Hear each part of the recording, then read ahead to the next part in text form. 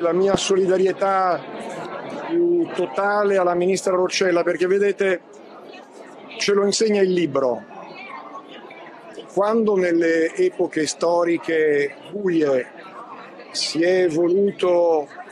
bandire un autore, bandire o bruciare addirittura un libro, c'è qualcuno che fra l'altro ha anche proposto di non ospitare a questa mostra degli scrittori israeliani. Ecco, quando qualcuno ha voluto mettere al bando delle idee,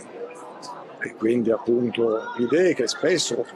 sono state espresse nella carta, ma anche a voce ovviamente, l'importanza è l'idea, il pensiero, la libertà del pensiero, e siamo sempre stati sulle soglie del pensiero totalitario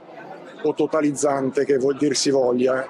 Quindi piena solidarietà al ministro Roccella, piena solidarietà a tutti coloro, scienziati, scrittori, artisti,